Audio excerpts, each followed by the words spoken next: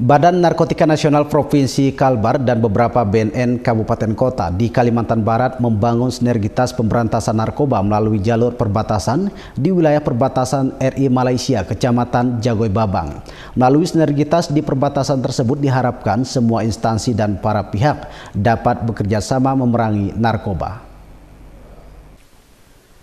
Untuk mencegah dan mengantisipasi peredaran gelap narkoba yang masih marak terjadi di jalur perbatasan RI Malaysia di Kecamatan Jagoy Babang, BNN Provinsi dan beberapa BNN Kabupaten Kota membangun koalisi untuk pemberantasan narkoba.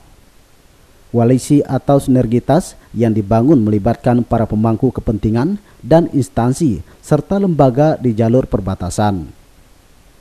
Melalui sinergitas tersebut diharapkan para pemangku kepentingan berperan aktif bekerja sama mencegah dan mengantisipasi peredaran narkoba yang berpotensi dapat terjadi di daerah perbatasan.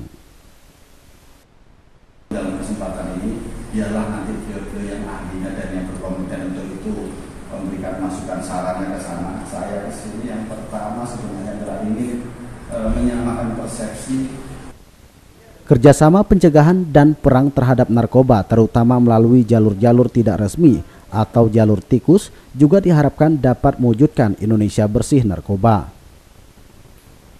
Dari Kabupaten Mengkayang, Stefanus Robin, Ruwai TV mewartakan.